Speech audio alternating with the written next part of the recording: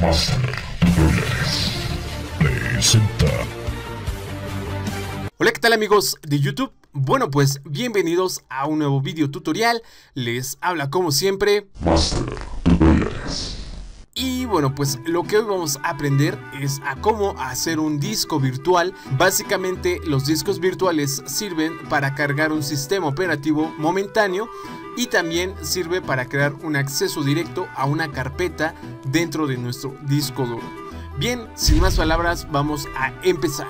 Lo primero que tenemos que hacer es irnos a inicio y después aquí vamos a equipo y vamos a darle en administrar.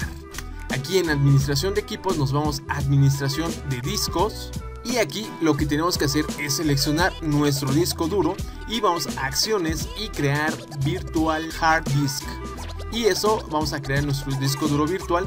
Aquí nos pide una ubicación le vamos a examinar. Y aquí yo la voy a guardar en el disco local y voy a crear la carpeta que se llame disco duro.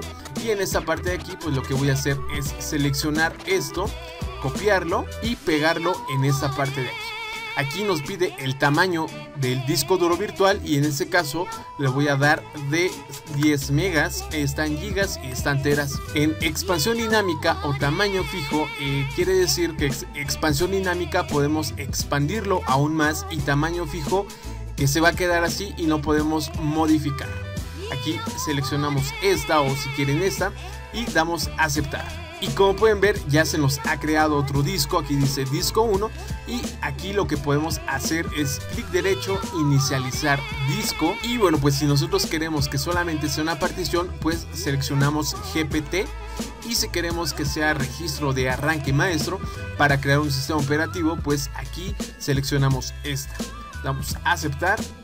Y una vez que ya está así vamos a dar clic derecho, nuevo volumen simple, vamos, siguiente, eh, siguiente y aquí le damos el formato de la letra que le queremos asignar siguiente. Y pues aquí podemos poner el nombre y damos en siguiente. Le damos finalizar y automáticamente nos va a crear ya nuestro disco virtual. Como podemos ver aquí en la reproducción automática ya nos lo lee y aquí va a estar ya nuestro disco virtual.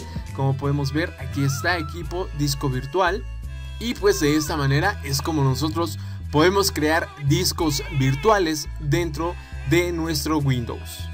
Para eliminarlo es muy fácil, simplemente nos vamos a esta parte de aquí, damos en eliminar volumen, sí, y aquí vamos a en ocultar virtual hard disk.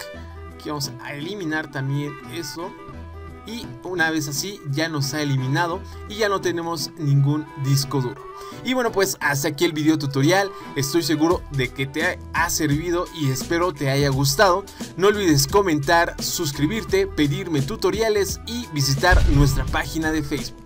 Un saludo a todos y nos vemos hasta un nuevo próximo tutorial. Hasta luego.